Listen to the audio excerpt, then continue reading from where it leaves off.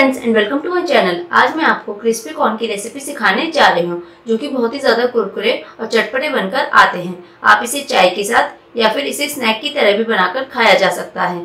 बहुत ही ज़्यादा टेस्टी और आसान रेसिपी है और बहुत कम समय में भी बनकर तैयार हो जाती है। तो चलिए इसको बनाना शुरू करते हैं। सबसे पहले इसके इंग्रेडिएंट्स चेक कर लेंगे। इंग्रेडिएंट्स में मैंने लिया है एक कप उबले हुए मकई के दाने। एक भिगोने में पानी डालकर उसे पाँच मिनट मैंने उबाल लिया है और इनको छान कर ये मकई के दाने हमारे तैयार हैं। साथ में मैंने दो टेबलस्पून कॉर्नफ्लावर लिया है, थोड़ी सी कटी धनिया पत्ती, दो हरी मिर्च कटी हुई half teaspoon chaat masala one four teaspoon काली मिर्च का पाउडर हाफ़ टी स्पून लाल मिर्च का पाउडर नमक स्वाद अनुसार और वन टीस्पून हमारा नींबू का रस।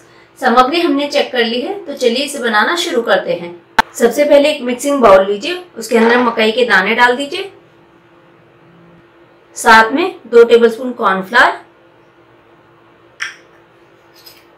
स्वाद अनुसार नमक, और लास्ट में लाल मिर्च पाउडर सामग्री हमने सारी डाल दी है, अब इसे हम मिक्स कर लेंगे. ये देखिए, हमने अच्छी तरह से इसे मिला लिया है, और आप देख सकते हैं मेरा नीचे थोड़ा सा आटा बच गया है. इस तरह से अगर आपका भी बचे तो आप इसके अंदर हाफ़ टी स्पून पानी डाल दीजिएगा. और अगर नहीं बचे तो पानी की ज़रूरत नहीं है। मेरा बच गया है, इसलिए मैं थोड़ा सा पानी इसके अंदर डालकर इसे मिला लूँगी। ये देखिए, हमने इसे दोबारा मिला लिया है और आप देख सकते हैं, अब कोई भी आटा हमारा नीचे नहीं बचा है। ये सारा मकई के दानों ने कोट कर लिया है। अब ये फ्राई करने के लिए बिल्कुल तैयार है। ये देखिए, हमने तेल को गरम रख दिया है। इसका तेल आपको मीडियम हॉट ही गरम करना है, ज़्यादा तेज़ गरम ना करें। तेल गर्म होने के बाद आप इसकी गैस एकदम धीमी कर दीजिए और इसके अंदर कॉर्न के दाने डालना शुरू कर दीजिए। ये मैं एक बार में आधे डालूँगी और इसे हम जल्दी से फैला देंगे इस तरह से।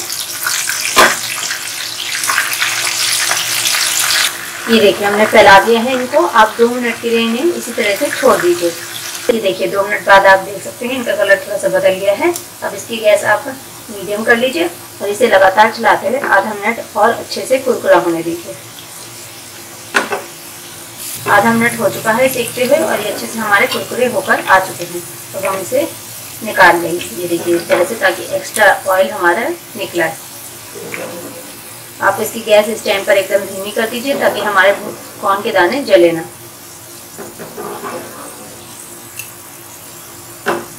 ये देखिए, सारे दाने हमने निकाल लिए हैं।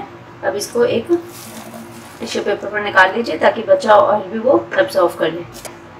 इसी तरह से आप बचे हुए दाने भी फ्राई करके तैयार कर लीजिए।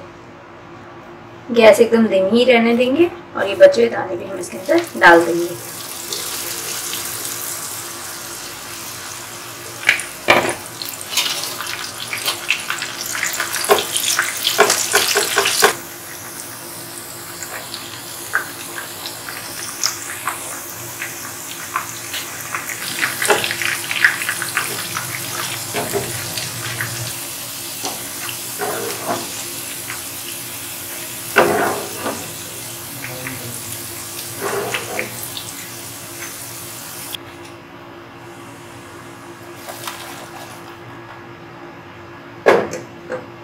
ये देखिए, भुट्टे के दाने हमारे सारे तैयार हैं। आप देख सकते हैं कितने कुरकुरे बने हैं आवाज़ से। अब हम इसको एक बाउल में ट्रांसफ़र कर देंगे। हमने इसे एक बाउल में ट्रांसफ़र कर दिए हैं। अब इसके अंदर बची हुई सामग्री भी हम डाल देंगे। सबसे पहले काली मिर्च, चाट मसाला, कटी हरी मिर्च, धनिया पत्ती और साथ में नींबू का रस। और इसे जल्दी से हम मिक्स कर लेंगे।